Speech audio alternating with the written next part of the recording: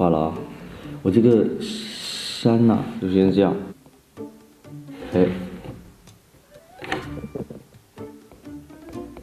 刚。完了芭比 Q 了，家人们由于小春哥不小心锁屏了，后面录屏都没录上。虽然但是我们又找他补录了一片，可能隔的时间有些久了，画了啥也不太记得了。两次画的内容多少都有些不太一样，咋都那么看吧。有一说一，认真作画的华琛真的很帅。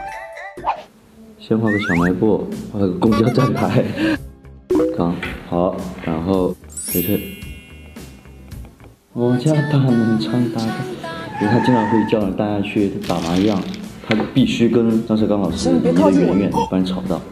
学在中间，他是一个打工人，他需要去任何地方，他都要进。